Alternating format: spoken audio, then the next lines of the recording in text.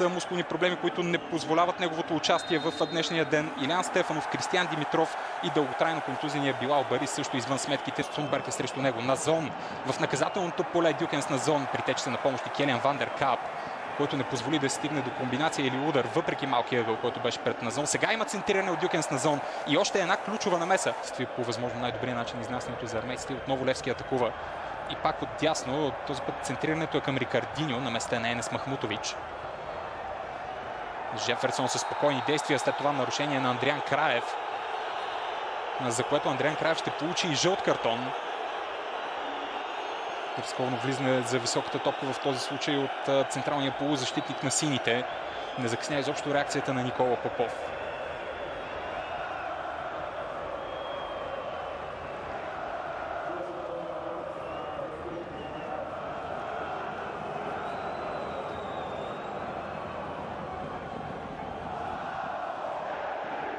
Си половина и пак Цунами с още една възможност да центрира. Именно това и прави бразилеца. Топката премина над Денойер. Остър пас след това от Роналдо на близката града. Стартира за дербито с Левски. Сега пък проблемите са за друг полузащитниците Жеферсон. Нещо, което за съжаление на Саша Илич пък не се случи с Жеферсон, който директно седна на резервната скамейка, след като получи вниманието на медицинския щаб. Полза на сините. Сега обаче ЦСК атакува. Хитро отиграване от Вион Хайнц в наказателното поле. Добро отиграване и от Хайнц, след което центриране с левия крак на близката града.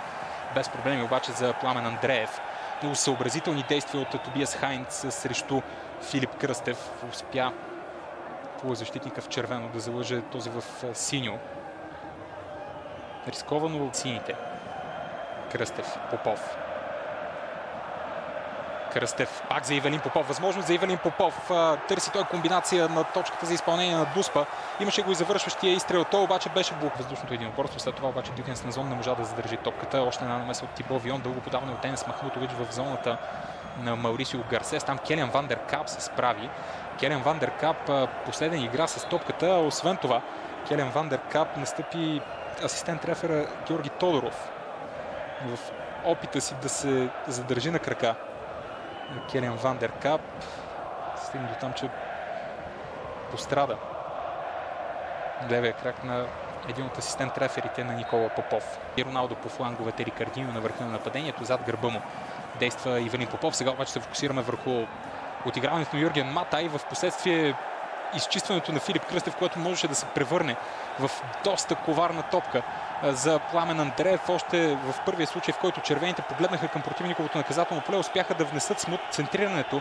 Дойде от Тобиас Хайнц. Прецизен пас към Юрген Матай. Най-логичното отиграване от Юрген Матай спрямо позиция. Не бяха много възможностите за Тобиас Хайнц, който е изключително креативен да се прояви в тази си светлина. Сега Пламен Андреев трябва да внимава. Излиза Пламен Андреев от игра с глава. В последствие, където е Брадли Денойер. Денойер връща топката в средата на игрището към Марселино Кариасов. Дясно включването от Тибо Вион. Топката стига до французина, който пита изстрел с левия крак. Подхлъзна се Тибо Вион, което отне от силата на изпълнението. В противниковата половина този път от дясно, чрез Роналдо, който е срещу Амос Юга. Роналдо ще търси ли изстрел с левия крак? Отговор е да. Едно на ръка изпълнението беше неточно, друго, че липсваше и достатъчно сила в този опит на Роналдо сигурност действия, които не бяха лишени от логика. Роналдо успя да си освободи пространство, през което да шутира, въпреки че води в двубоя. Хайнц намира Дюкенс на зон. Трудна позиция за Дюкенс на зон. Пробва много атрактивно изпълнение от доста сериозна дистанция на Уелтън и на Роналдо по фланговете, независимо кой от двамата е отляво и от дясно. Такъв е случая и сега Уелтън първоначално спечели по-добра позиция спрямо Енес Махмутович. Изстрел на Уелтън към близкия ъгъл на Густаво Босато може би миг на колебания от страна на Густаво Босато, само че след това топката се озова сигурно в неговите ръце. Чудесна работа от Уелтън спрямо Енес Махмутович.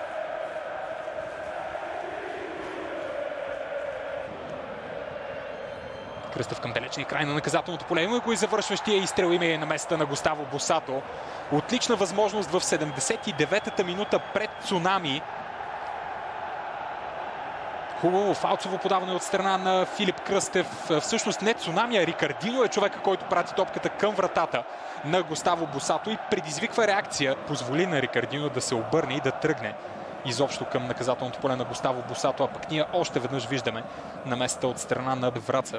Това показва програмата за тима на Саша Илич за тази на сините. След малко хубаво подаване към далечната града, където Роналдо успява да стреля и има много силни претенции от страна на Роналдо за игра с ръка при опита удара му да бъде блокиран. Минута, в която идват тези действия 86-та. Филип Кръстев с прецизно подаване към Роналдо. Човека, който блокира изстрела беше Денойер.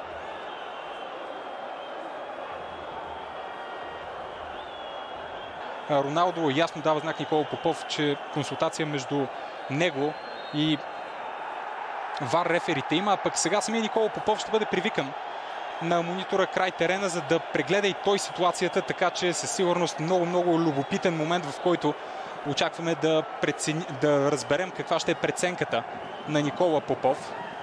Роналдо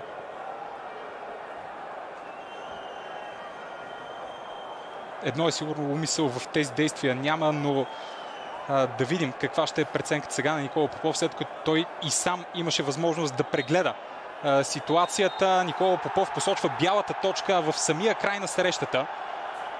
Левски ще има възможност да открие резултата от 11 метров наказателен.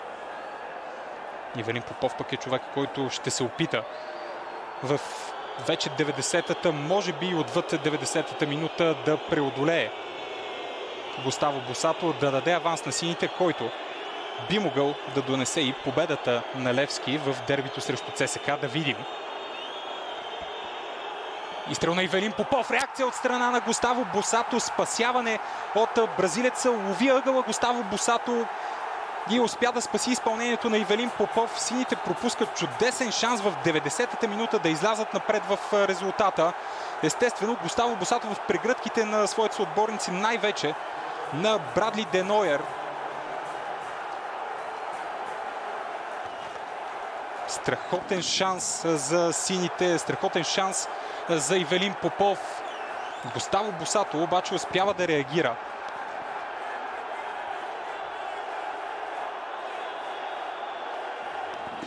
На, за пореден път 11-метровите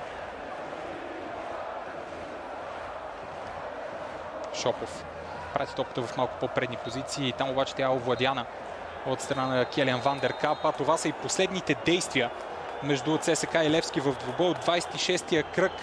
Сини и червени не успяха да се победят 0 на 0 в 159-то издание на дербито между